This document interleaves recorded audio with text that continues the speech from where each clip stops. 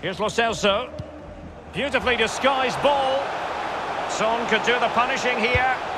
And it nestles on the back of the net. A goal for Tottenham Hotspur, who now are on level.